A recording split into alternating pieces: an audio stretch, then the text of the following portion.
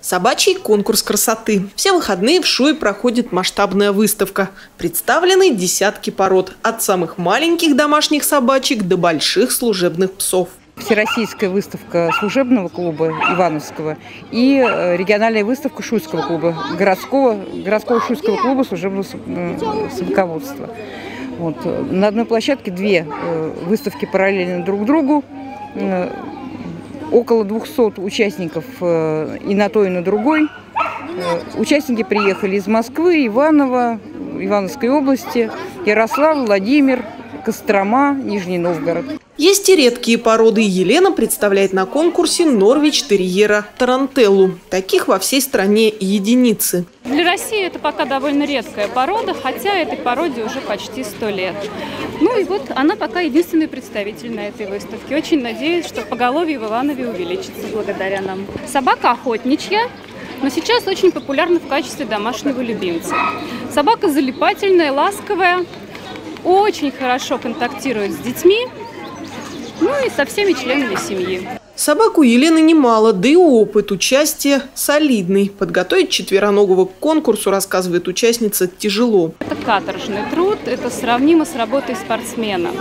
Это работа владельца, это работа хендлера, это работа заводчика, ну и, конечно, собаки. Оценить такое количество участников сразу судьям просто нереально, поэтому хвостатых конкурсантов распределяют по группам. В каждой представители разных пород. Казалось бы, как можно сравнивать абсолютно различных по типажу собак? А вот можно. В этом конкурсе красоты совершенство понятие не абстрактное, а вполне конкретное. Чем ближе собака к стандарту, тем больше у нее шансов на благосклонность судей. Стандарты разрабатывает страна, в которой эта порода появилась.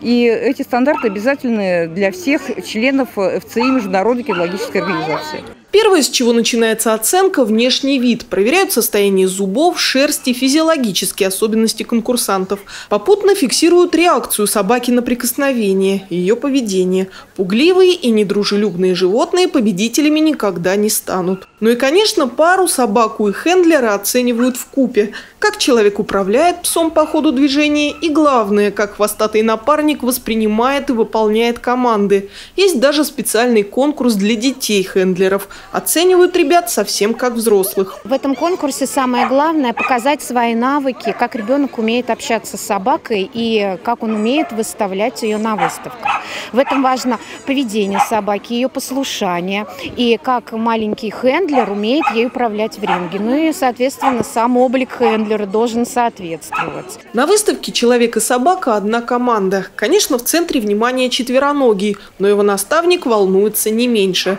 А собаки, как рассказывают заводчики со стажем, настолько втягиваются в выставочную жизнь, что радуются, когда побеждают, и обижаются, проигрывая. Наталья Гутарина, Денис Денисов, РТВ Иванова, Шуйский район.